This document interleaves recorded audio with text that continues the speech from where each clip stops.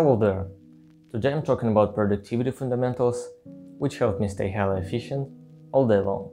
Some things I'm gonna mention today are basic and you probably already know about them. Nevertheless, I believe they determine whether you'll be able to perform on the highest possible level or not.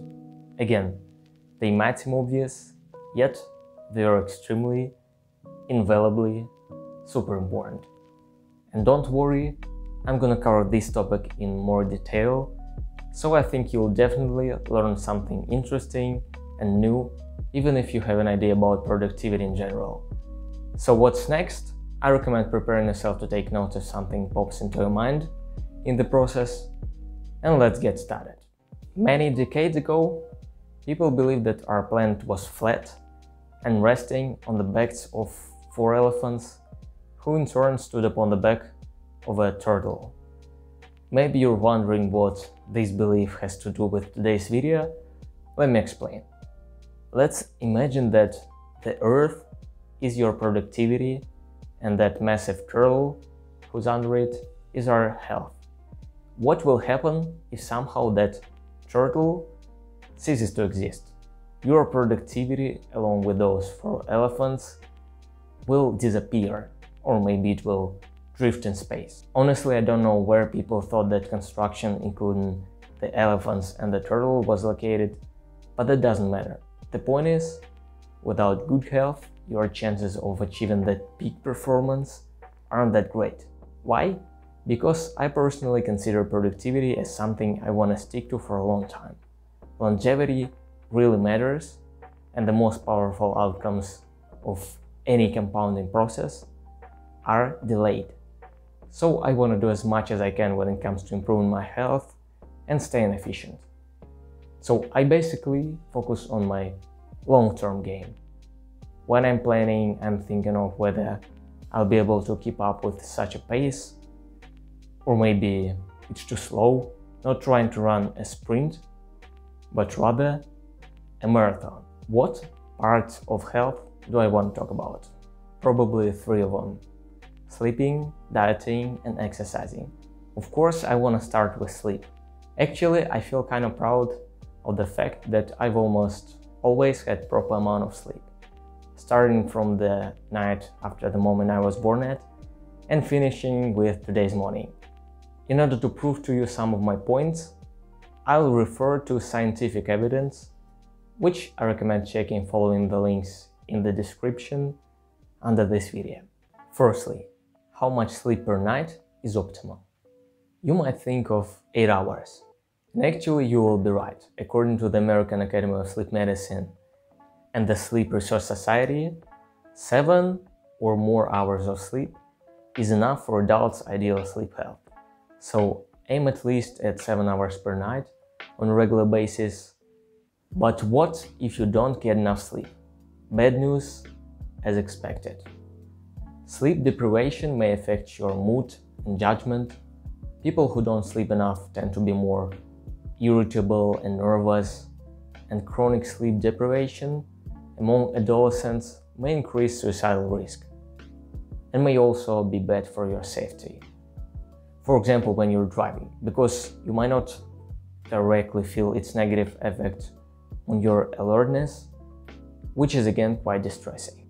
So that was a couple of words on why I pay so much of my attention to sleep. Of course, it's not a full list of negative effects. One video is not enough to list all of them, but I hope at least one of the facts convinced you on necessity of enough sleep time. Now let's get to the how part. I'm not gonna talk about caffeine, not only because it's kind of obvious, but also because I already did it in my previous videos. First thing about sleeping good I want to point out is research shows that bedtime schedule irregularity may be associated with a decrease in average sleep time per day and sleep quality. Hearing for the first time that I go to bed at the same time on weekends compared to other days actually was quite surprising for many people I met. But I gotta say that sticking to such schedule feels great, even knowing that most people are peacefully sleeping in their beds. while I'm already awake. Let's talk about light. As you know, melatonin is a hormone which controls our sleep-wake cycle. An exposure to blue light in the evening for two hours may actually suppress melatonin. But it doesn't mean that you should avoid using your devices, which are one of the sources of blue light, for two hours before going to sleep. And to be honest, I don't believe that many people would be okay with such a limitation, even if it was necessary. It's 21st century, it doesn't seem that easy to stay away from internet for a couple of hours. What was I talking about? Melatonin concentration recovers within 15 minutes after you cease exposure to blue light. So I think stopping using your devices at least 15 minutes before the time you would like to go to sleep at is optimal. And it's not that hard, is it? Here is a simple life hack which may help you as well. Warm shower or bath can improve your sleep. According to this meta-analysis, water-based passive body heating can shorten the amount of time needed to fall asleep and improve self-rated sleep quality and sleep efficiency. Sounds quite cool. What exactly they mean by warm shower or bath? Temperature should be from 40 to 42.5 degrees Celsius, which is about from 104 to 109 Fahrenheit. It should take place from 1 to 2 hours before bedtime for about 10 minutes. Let's move to the next massive part of leading a healthy lifestyle. I'm talking about dieting. Mm. This topic is broad, as you might guess, but let me point out key things. Let's break down a little what World Health Organization considers a healthy diet. First, fruit and vegetables. Consuming them in proper quantity may decrease risk of coronary heart disease, cardiovascular disease, bowel cancer, and all-cause mortality. That's crazy. Even though I've known that fruit and vegetables were important since I was like three years old, this still blows my mind. So what amount are we talking about? According to WHO, we should eat at least 400 grams every day. Actually, it isn't that much.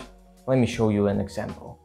Let's suppose that one cucumber and one tomato are usually about 200 grams together. That's already a half of what we should eat daily. Add an apple and several leaves of cabbage and it's already more than 400 grams. I eat so much more than that. That's cool. Next, limiting fat intake, especially when it comes to saturated and trans fats. It's one of the reasons you shouldn't eat too much fast food, packaged snacks, cookies and wafers. I personally almost never eat that type of products and prefer whole foods that will meet the criteria of eating healthy. And of course, I can't omit to mention sugar. If you consume approximately 2000 calories per day, your norm will be about 12 level teaspoons. But sugars are added to most of the products you may see in grocery store, so exceeding the amount is absolutely easy. And if you consume a lot of honey and drink juices without added sugars, it doesn't mean that you aren't consuming large amounts of free sugar. I quit sugar quite a long time ago and intentionally don't buy grocery which contains added sugars and don't feel bad about that. Alright, again, that's not a full list of things you should take into account, but I don't want to make this video too long, so I stop right here. I recommend researching it more thoroughly on your own when you have enough time for proper attention and focus. Next up, exercising. Did you know that physical inactivity has been identified as the fourth leading risk factor for global mortality? It's 6% of deaths globally. Let's do some math. In 2021, around 69 million people died. 6% of 69 million is about 4 million. So 4 million people died because of physical inactivity last year. Wow, What are WHO physical activity recommendations for adults from 18 to 64 years old? At least 150 minutes of moderate intensity or 75 minutes of vigorous intensity aerobic physical activity per week and muscle strengthening activities on two or more days a week. This is the minimum that's pretty easy to meet. Again, I definitely do more than that, especially when it comes to muscle strengthening activities, and I notice benefits of it every day. I feel really healthy and energized enough to be productive every single day and become the better version of myself. So, this is it. That was a lot of words, so let's recap. I consider health as one of the most important things that determine my productivity. I want to live a happy and long life, so I focus on exercising, dieting, and sleeping. All of these things are insanely important, so I have a regular bedtime schedule. I stick to habits that improve my sleep in order to be full of energy and positive mood. I stick to a healthy diet, which includes some basic things. World Health Organization includes in its dietary guidelines.